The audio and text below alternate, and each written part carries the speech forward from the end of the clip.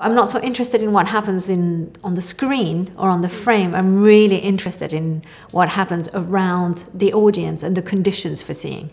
You know, so I'm really interested in what happens behind there. you know, like where you are somehow. My name is Céline Condorelli and I work with art and architecture uh, through different strategies for supporting the work of others or forms of public space. I never worked as an architect ever, and I never had any intention in building buildings. I just went to architecture school because it was the only thing I could imagine that would be interesting to study. But somehow architecture is the thing that's stuck in people's mind because my work is quite architectural. You know, I make work that is integrated in the space of the world. I'm not that interested in the gallery space.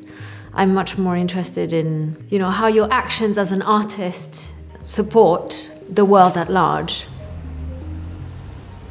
I moved to London in 1992 I was excited to come to London also as a really, really, really young person who you know, was excited by a big metropolis, like a huge cosmopolitan international city. But I had no idea that I was going to stay here after.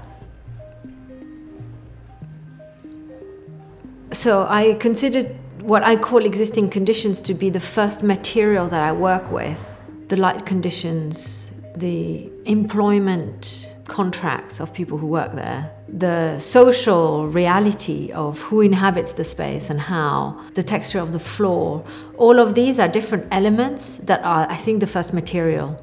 So maybe making a hole, creating a window, or opening a door, or adding something for the comfort of somebody who works there will be part of a larger intervention, which I call altering existing conditions. I got an email from Jack James at South London Gallery to, to see whether I would engage with the local community in developing a playground that is in the middle of a housing estate, about five minutes walk from the gallery.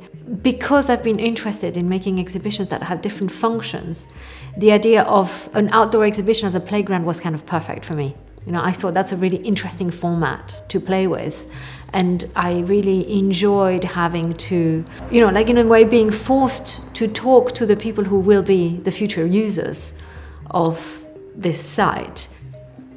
So my interest in play and playgrounds comes from three references. One is the playground that Lina Bo Bardi had planned for the MASP, the Museo de Arte de Sao Paulo in Brazil, on the public plaza, which was never built. The second reference that was really important to me was a project by Palle Nielsen at Moderna Museet in 1968, in which he turned the entire museum into an adventure playground in which adults were not allowed, and of course, which was total mayhem, but was a really serious experiment in seeing how children could provide an alternative society and build their own context. And then the third thing I've been working with quite a lot, which is perhaps the only thing that is still um, visible in the shape of the playground as it's being planned, which is the, the playgrounds of Aldo van Eyck in Amsterdam. So post-war Amsterdam had a lot of bomb sites and a lot of available space, therefore. And over the course of, I think, 14 years, he ended up designing more than 500 playgrounds for the city of Amsterdam. Some still exist, but most of them only exist in just fragments, you know, like little pieces that are still left. So anyone above the age of, I would say, 20 would have grown up with some fragments of Aldo van Eyck's playground. Uh, the playground, in the way that it's being planned, isn't just uh, a set of playable structures.